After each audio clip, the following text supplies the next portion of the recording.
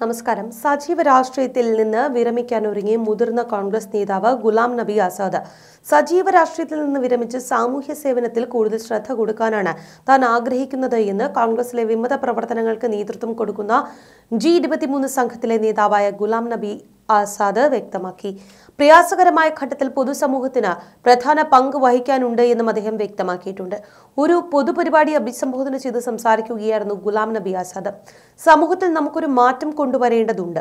ഞാൻ വിരമിച്ച് സാമൂഹ്യ സേവനത്തിൽ മുഴുകാൻ പോകുന്നതായി കേട്ടാൽ അത് വലിയ സംഭവമായി നിങ്ങൾക്ക് തോന്നണമെന്നില്ലെന്നും ആസാദ് പറഞ്ഞു. ജമ്മുകശ്മീർ ഹൈക്കോടതി ബാർ അസോസിയേഷൻ പ്രസിഡന്റും മുതിർന്ന അഭിഭാഷകനുമായ എം കെ ഭാരദ്വാജാണ് പരിപാടി സംഘടിപ്പിച്ചത്. പത്മഭൂഷൺ ലഭിച്ച ഗുലാം നബി ആസാദിനെ ആദരിക്കുന്നതിന് സംഘടിപ്പിച്ച ചടങ്ങിൽ മറ്റ് പ്രമുഖരും പങ്കെടുത്തിരുന്നു. ഇന്ത്യയിലെ രാഷ്ട്രീയം വളരെ വൃത്തികെട്ടതായി മാറിയിരിക്കുന്നുവെന്നും ചിലപ്പോൾ നമ്മൾ മനുഷ്യരാണോ എന്ന് സംശയിക്കേണ്ട സ്ഥിതിയിലെത്തിയിരിക്കുന്നുവെന്നും അദ്ദേഹം പ്രസംഗത്തിൽ ചൂണ്ടിക്കാട്ടി.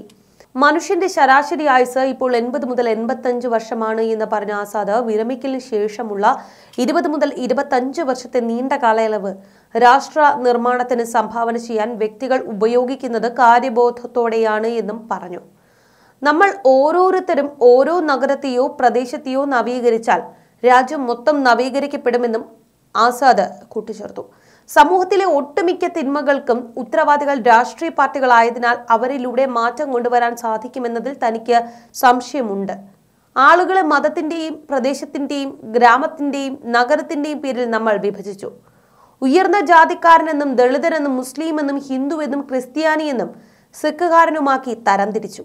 ആളുകളെ ഇങ്ങനെ ചുരുക്കി കെട്ടിയാൽ ആരെയാണ് നമുക്ക് മനുഷ്യരായി കാണാനാവുക എന്നും ഗുലാം നബി ആസാദ് ചോദിച്ചു.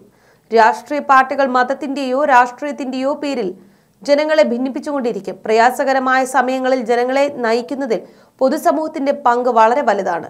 താൻ കോൺഗ്രസുകാരനായിട്ടല്ല പൊതുജീവിതം തുടങ്ങിയത്. ഗാന്ധിയൻ തത്വശാസ്ത്രത്തിൽ ഊന്നിയാണ് തന്റെ പൊതുപ്രവർത്തനം ആരംഭിച്ചത് എന്നും വളരെ കുറച്ചു പേർക്ക് ഇക്കാര്യങ്ങൾ അറിയുള്ളൂ എന്നും അദ്ദേഹം ചൂണ്ടിക്കാട്ടി. നമ്മൾ ആദ്യം മനുഷ്യരാകണം പിന്നീടാണ് ഹിന്ദുവും മുസ്ലിമും ആകേണ്ടത് എന്നും അദ്ദേഹം പറഞ്ഞു. കെ സി വേണുഗോപാലിനെ സംഘടനാ ചുമതലയുള്ള ജനറൽ സെക്രട്ടറി സ്ഥാനത്ത് നിന്ന് നീക്കുന്നതിനൊപ്പം പാർലമെന്ററി ബോർഡ് വീണ്ടും രൂപീകരിക്കണമെന്ന ആവശ്യമാണ് ജി ഇരുപത്തിമൂന്ന് നേതാക്കൾ ആവശ്യപ്പെട്ടത്. വിവിധ വിഷയങ്ങളിൽ പാർലമെന്റിൽ സ്വീകരിക്കേണ്ട നിലപാടടക്കം സുപ്രധാനമായ തീരുമാനങ്ങൾ പഴയതുപോലെ പാർലമെന്ററി ബോർഡിന്റെ ചുമതലയിലാക്കണം. മധുസൂദനൻ മിസ്ത്രിയുടെ നേതൃത്വത്തിലുള്ള നിലവിലെ കേന്ദ്ര തെരഞ്ഞെടുപ്പ് സമിതി അഴിച്ചുപണിയണം. കുറഞ്ഞത് നാല് വർക്കിംഗ് പ്രസിഡന്റുമാരെ നിയമിച്ച് വടക്ക് തെക്ക് കിഴക്ക് പടിഞ്ഞാറ് മേഖലകളുടെ ചുമതല നൽകണം.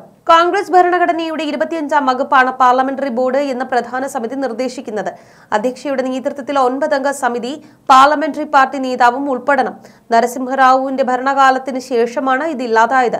ഗുലാം നബി മനീഷ് തിവാരി തുടങ്ങിയ ജി ഇരുപത്തിമൂന്ന് നേതാക്കൾക്ക് സംഘടനയിലും നയരൂപീകരണങ്ങളിലും അർഹമായ പരിഗണന ലഭിക്കണമെന്ന് വിമത വിഭാഗം താൽപര്യപ്പെട്ടിരുന്നു നിലവിൽ രാഹുൽ ഗാന്ധിയും വേണുഗോപാൽ അടക്കമുള്ള അനുചര വൃന്ദവും എടുക്കുന്ന തീരുമാനങ്ങൾ പാളുന്നു. പല വിഷയങ്ങളിലും സോണിയാഗാന്ധിക്കും രാഹുൽ ഗാന്ധിക്കും രണ്ട് നിലപാടുണ്ട്.